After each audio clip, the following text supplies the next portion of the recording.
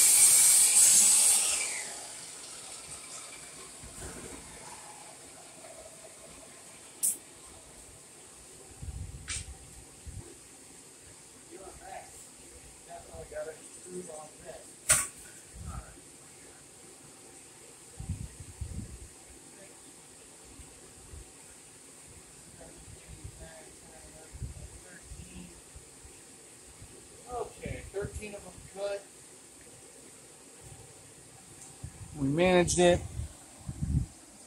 in 20 minutes. Not as fast as I would like, not as easy as I would like. Definitely got a long way to go here. But it's a start.